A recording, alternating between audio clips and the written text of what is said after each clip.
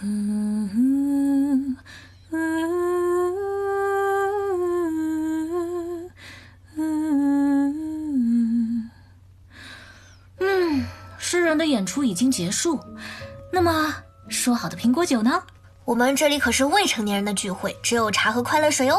啊，未成年人哪里来这么多坏心眼啊？我说，嗨，别听他的，我们特地给你准备了蒙德苹果酿。来来来，欢迎我们蒙德人永远的神，也是吟游诗人温迪光临我们的茶会。好耶，温迪温迪温迪。好，每期一句自我介绍的传统可不能忘记。来吧，听屏风吟。西风骑士团荣誉骑士空的配音演员录音，西风骑士团荣誉骑士银的配音演员叶宁，西风骑士团代理团长秦的配音演员林素，西风骑士团啊不对，是吟游诗人温迪的配音演员喵酱。祝大家新年好！作为第一次来到我们茶会的嘉宾，还请喵酱同学分别以角色和配音演员双重身份，再次和大家打个招呼吧。亲爱的朋友，旅行至今，你是否会想念蒙德的清风呢？希望你能接受风花的邀约，与天底下最棒的吟游诗人，也就是我，一起享受爱与喜悦。大家好，我是温迪的配音演员苗酱啊，好高兴来到这里。我接受，我接受，我接受。接受了，好容易接受啊，真开心啊！不知道大家从刚才喵酱的话里面有没有听出来很重要的信息呢？从这次版本的名字《风花的邀约》，可能不少旅行者们已经听出来了。在我们新年后的第一次版本更新中啊，蒙德最重要的传统节日之一。风花节就要来到啦！风花节。另外呢，之前就有很多小伙伴发邮件来说想要温迪来参加茶会，那在这里也要提前透露一下，在这次的风花节的活动当中，温迪将会有很多的戏份啊，所以在温迪的主场邀请喵酱同学来到茶会，可以说是再合适不过啦。说起来，今天我们的阵容可太强了。大家常说的双峰队的两位核心都到了哎，何止双峰，简直就是四峰守护。然 后我觉得我可以挂机了。当然不可以啦。哎，好了，那让我们赶紧通过全新的一点四版本 PV《风花的邀约》来快速了解一下新版本会有哪些内容等着大家吧。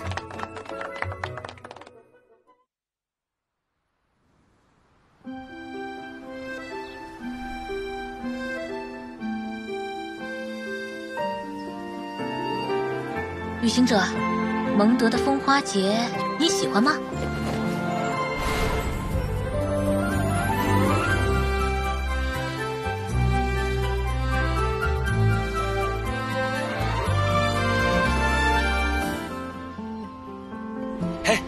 来挑战一下吧！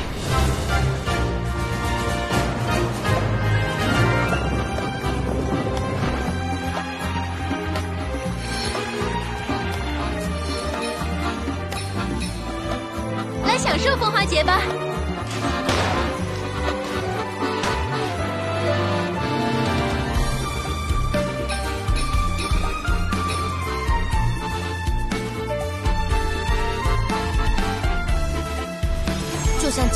冒险团一样，堂堂正正的跟你一起冒险吗？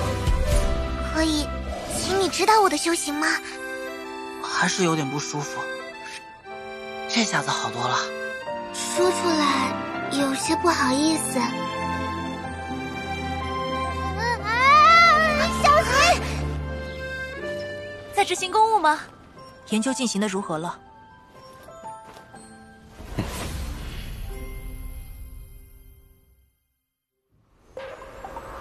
不要勉强，有困难可以叫我。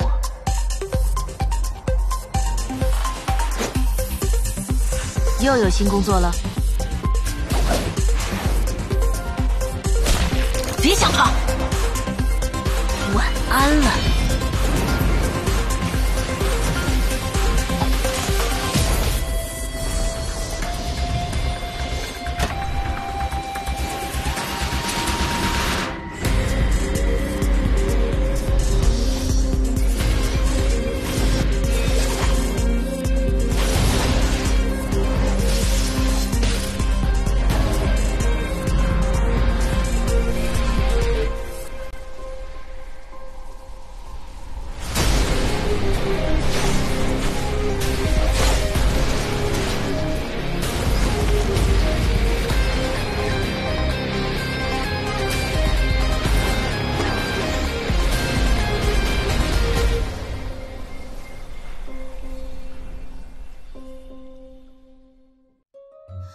怎么样？正在屏幕前收看节目的小伙伴们，对我们的新 PV 还满意吗？这次一点四版本中也会有着丰富的剧情和很多精彩的活动等着大家来体验。那么接下来还是先给大家奉上我们今天的第一组兑换码福利，然后再一起来看看本次更新中的新四星角色罗莎莉亚吧。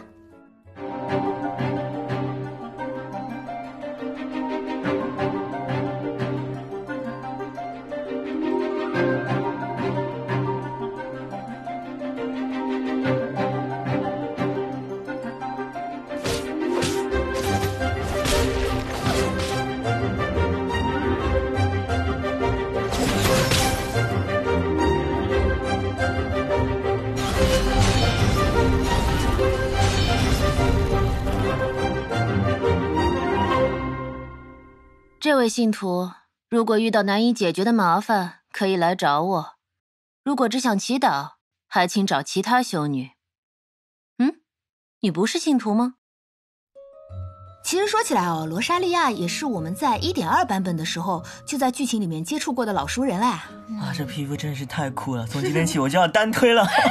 丧修你真的好酷啊，这种设定。哎，你别光看人家酷，虽然罗莎莉亚经常看上去有一些无所谓和心不在焉，但是在那些看不见的角落，罗莎莉亚可是以她特有的冷静和果决守护着蒙德的平稳和安定。那不是更要推了吗？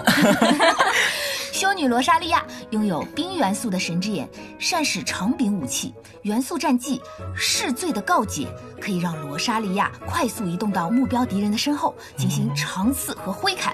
不过在遇到一部分体型比较大的敌人的时候，可能就会穿不过去了。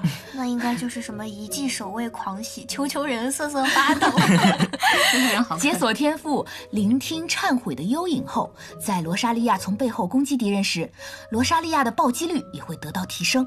哎，那感觉好像可以先挂个水，然后再让罗莎莉亚放技能冻上，再输出一波，还有还有天赋可以抬一手暴击率。嗯，听上去好像是值得一试哦。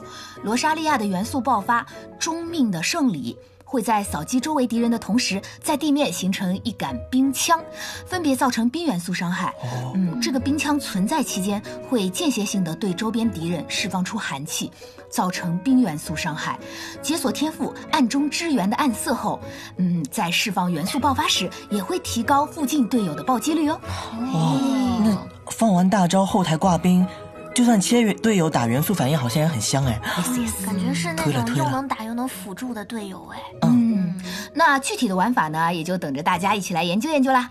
另外，罗莎莉亚还有一项很契合她人设的天赋——夜行，在游戏内的时间处于十八点到六点期间，自身的移动速度会增加。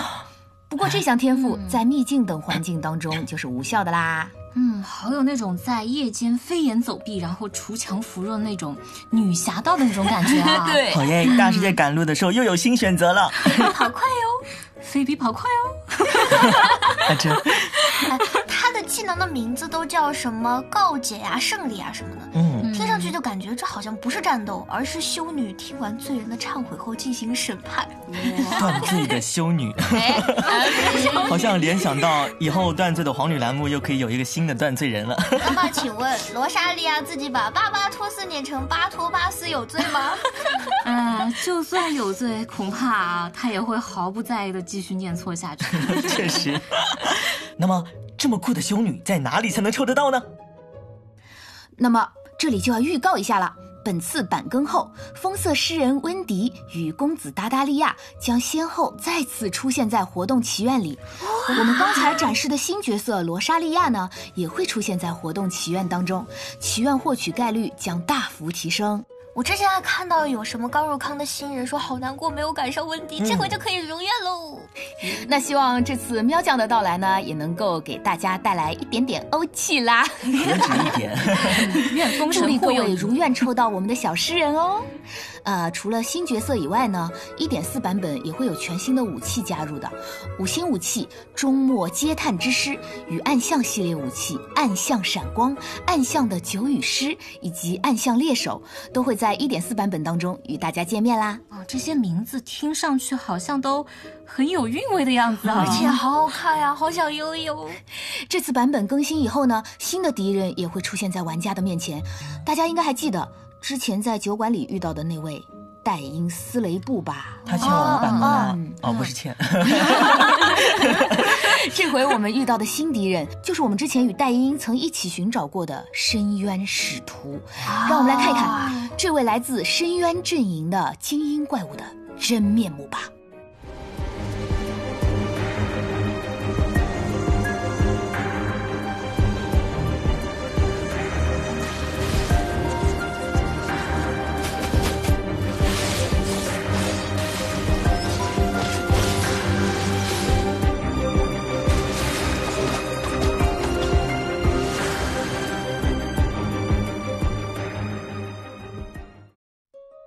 深渊使徒的出现呢，跟我们这次更新的主线剧情是息息相关的。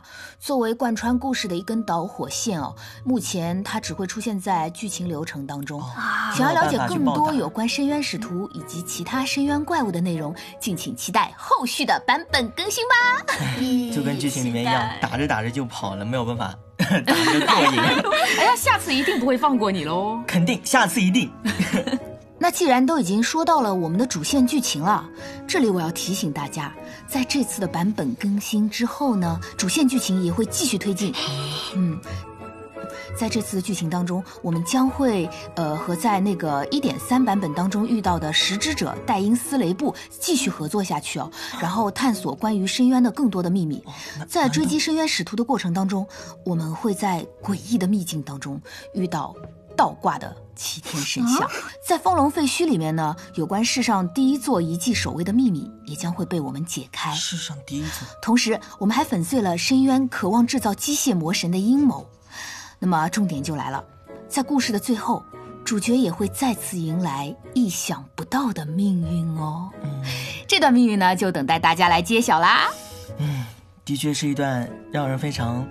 难以想象的经历吧，就是短暂的时间里，各种各样的情绪都涌上心头那种感觉。哎，你是大诗人哎，就感觉怎么说呢？除了喜悦，还有更多的疑问，还有苦涩。我我好想说，但我不能说。就请大家在主线剧情更新后，慢慢的体验吧。这段剧情里的信息量真的挺大的。嗯，好期待哦。好啦，那现在还是让我们回到一点四版本的主题吧。风花节，好耶！风花节呢，呃，是蒙德地区传统当中属于自由和爱情的节日。除了给自己心爱、珍重的人送花之外，向风神巴巴托斯大人献上传说中的风之花，也是非常重要的传统。哼哼，啊，不过啊，关于这个风之花究竟是哪一种花，其实蒙德城里的大家都是持有非常不同的意见的。啊，什么勾勾勾果也是花吗？哎，其实自由的蒙德人民既然觉得它是花，那当然是花啦，对不对？当然可以把它列入花的行列啦，对不对？既然风神本人都这么说了，嗯，不知道正在收看节目的大家会觉得哪一种花更加符合自己心里对风之花的定义呢？快点来一点四版本体验风花节剧情，去选择你心仪的那朵风之花吧。这次的剧情会是一个个关于爱与诗歌的小故事哦，感觉就像回到了家里一样，让人感到又轻松又温暖的那种。节日译文当中呢，除了活动的主线剧情之外，还会有一些支线的小任务，随着主线剧情的推进，也会逐渐开放，大家不要忘了去看看哦，千万不要忘了。想提问，既然风花节来了，那会不会有一些跟节日相关的玩法呢？嘿嘿。既然是温迪的主场嘛，那肯定要让喵酱同学来回答啦。嗯，那就让我来解答这个问题。那这次风花节呢，我们的策划同学也加入了很多新的玩法来供大家尝试。那么，让我们来先看一看吧。风花节的庆典上呢，有三项挑战等着旅行者来尝试。第一项小游戏呢，叫百发百中。顾名思义呢，是展示旅行者们射箭之术的好时机，通过射中正确的气球来获得积分。不过呢，大家一定要看清楚了啊，千万不要射中那些会扣分的气球。还会扣分？这我应该不会百发百中的，不 可能的好吧？不存在的。那我来介绍一下第二项。那第二项呢是风中万花。是从高空飞下，在空中去收集不同类型的花球，从而获取积分。哇，迎着自由的风收集花球，一听上去就很符合风花节的气氛，但是不适合我。嗯，那么最终完成时，剩余时间越多，获得的额外奖励分数也会越高。哎，不过旅行者们也不要慌啊，还是要耐心一点去收集更多的花球。落地后呢，挑战就会立刻结束啦。然后还有第三个小游戏，名叫《风物之歌》啊，那也是我最喜欢的啊。在游戏里演奏呢，嗯，不少玩家已经非常熟悉的曲目，挑战高分。具体的操作呢，就是根据屏幕上的节奏圈提示，在正确的时机按下对应的按键，获得积分。啊，这一天终于来了！我在原神玩音游。这三个游戏听上去就很像是温迪擅长的那种事情：射箭、飞行、弹琴，怎么看都像是封神自娱自乐式的游戏吧？巴巴托斯，干点正事啊！不可能的。那顺便要提醒大家啊。百发百中，还有风中万花两个小游戏，大家都可以联机玩哦。那么到时候呢，记得叫上自己的朋友来比拼一下哦。会变成内鬼吗？呃，风花节结束了之后，这些小游戏还有吗？没有了吗？那会有点遗憾。感觉不错。嗯，虽然活动有结束的那一天啊，但是参加活动还是可以兑换两个小道具。那一个呢就是风花节纪念气球，还有一个呢就是风物之诗情。那么有了这个情，大家还是可以在联机的状态下跟好朋友一起合奏哦，继续玩音游。有了这个情，听懂？有了这个情，这是重点。和好朋友一起合奏。嗯嗯，那到时候肯定有很多弹琴的整活视频呼之欲出了呀！大家一起来，一起来！已经可以看到了，好棒！直呼内行，都要拥有这个情啊！对，都要拥有这个情。啊，那接下来呢，我们来看看下一个活动——奇趣蜜园吧。在一个特殊的秘境中，大家会随机抽取到三个不同的小游戏，通过小游戏中积攒表现力来解锁不同的增益效果。完成三个小游戏以后呢，在增益效果的加持下，与最终 BOSS 展开较量。风花节活动开始后呢，奇趣蜜园中会随时间涌现出新的小游戏哦。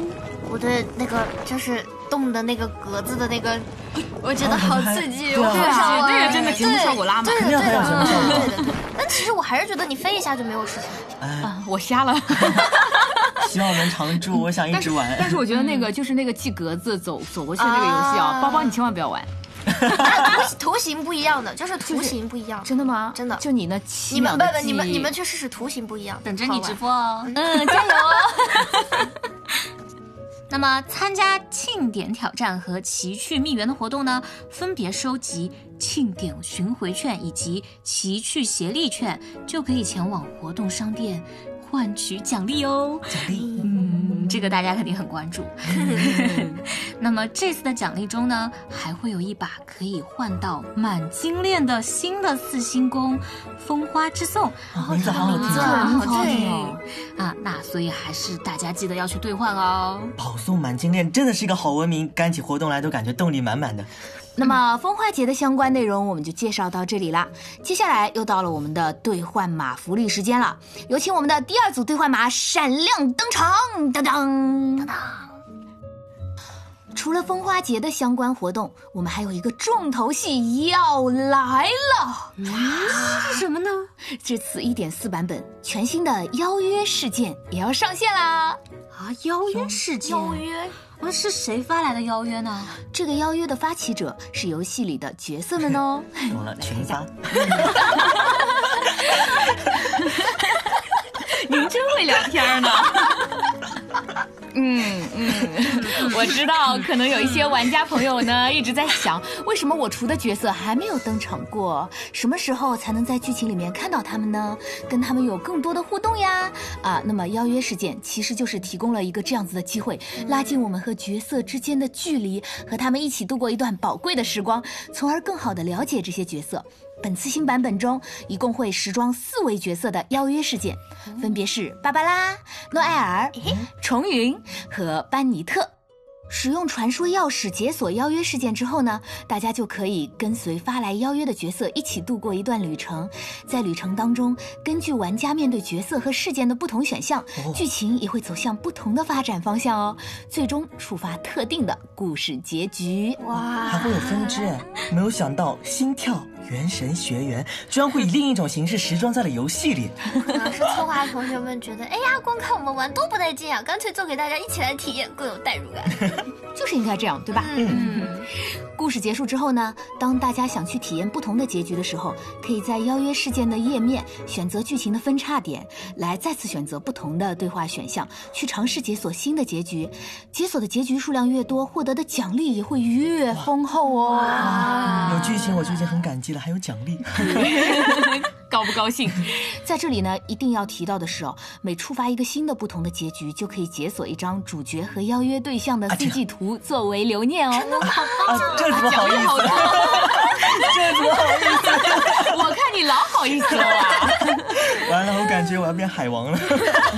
不用感觉，把感觉去掉，胆大一点。但是用女主攻略诺埃尔会不会很奇怪啊？不管了，宝贝，我来了。啊，好想玩，好想玩，好想玩啊！哎，感觉好像除了芭芭拉以外呢，其他几个人好像从来没有在剧情里面出场过。哦，对，而且是。只有这四个角色有这个任务吗？还是啊，你们两个人都变敏锐了哦。本次一点四版本里面呢，出现的邀约事件发起者就是这四个角色啦。但是呢，并不代表着只有这四位。随着后续版本的更新呢，会有越来越多不同的角色的邀约事件等待着大家去解锁。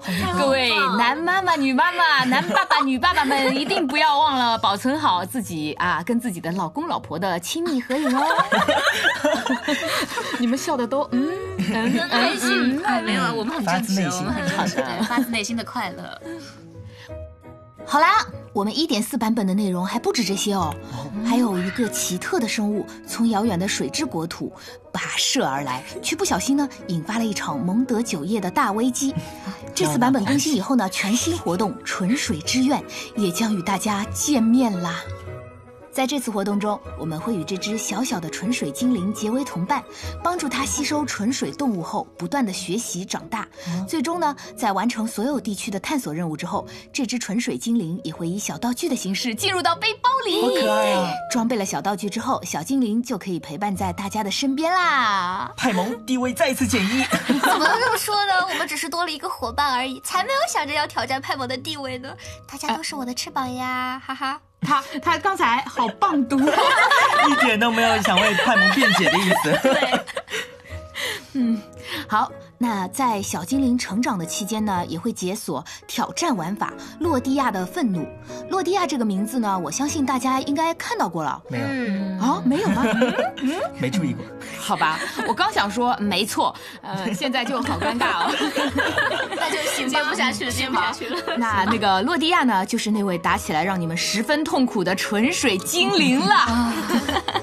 这次知道了吧？知道了，知道了，学到了。不能忘记人家的名字，好的，刻进 DNA。了，这次挑战当中呢，大家不仅可以直接对纯水纯水精灵的本体造成伤害，而且处于愤怒状态下的纯水精灵还会具备一些与平时不同的技能，更可怕了，哎，好难啊！这。这次活动呢，与之前雪山的极冻树的 BOSS 一样，依然可以和朋友一起联机完成。挑战成功之后呢，消耗一定的体力，大家可以获得大量的经验素材奖励。经验哇，太棒了！期盼很久了，现在家里的经验树真的根本就不够吃。对，这次可以吸取经验，多刷那么一点点。嗯，但是呢，在这里要特别提醒一点哦，每当大家完成一个地区的挑战任务，也就是吸收了足够多的纯水小动物之后，就会获得一颗纯水真。心，而每拥有一颗纯水真心，就可以在不消耗体力的情况下，开启一次挑战玩法《洛蒂亚的愤怒》的奖励。我们的探索区域一共有五块，也就是可以获得总共五次白嫖奖励的机会。好的，好的，收到。做的好呀！还不止这一个呢，另外一个新活动——争斗潮流。哎，等等，这个怎么看起来有点眼熟啊？我们是不是对？起了第一期茶壶一排排的秋秋人阿梦开始的地方啊！那那时候我还是一个青涩的女孩。只要生于这片大陆，任谁都曾做过提瓦特最强的梦。达达乌帕的好肉族擂台正在召唤着所有强者。时间限制，队友的安全，强敌，各种挑战目标，对身体应该不会有多好吧？战斗中流出的汗液，导电物质的比例为百分之一都不到。释放猛烈的冲击波，并提高下次下落攻击的伤害，其名为五点着陆回转法。遥远古代的强者与今日冉冉升起的星星旅行者之间的对决，这就是强者之间的对撞吗？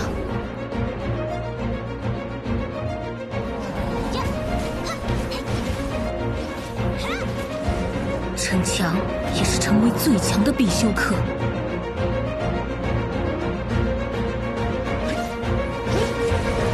我不想说的太失礼。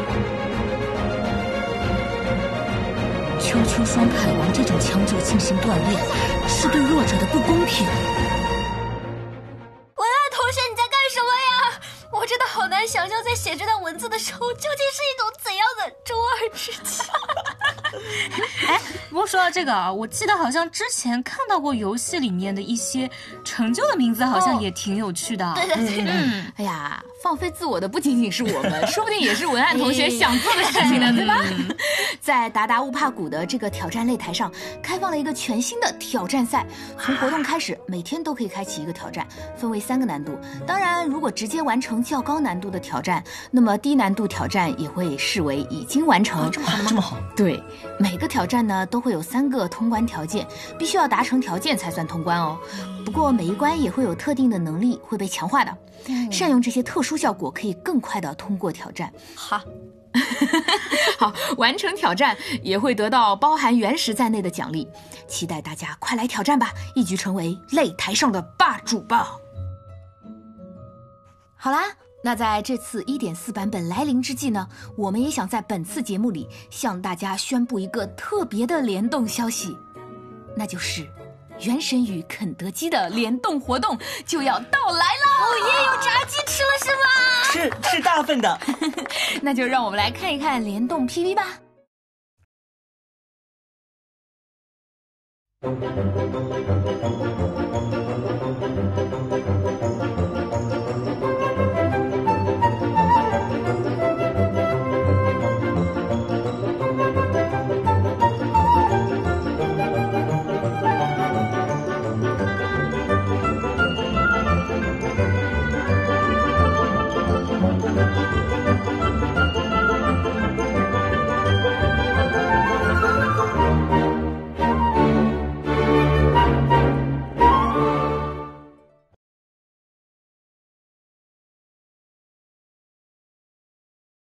在本次联动活动正式开启之后，在游戏内参与七日签到活动“一箱食记”，可以获得三款全新的联动料理：大黄金吮指鸡、脆脆鸡腿堡、香浓土豆泥的食谱。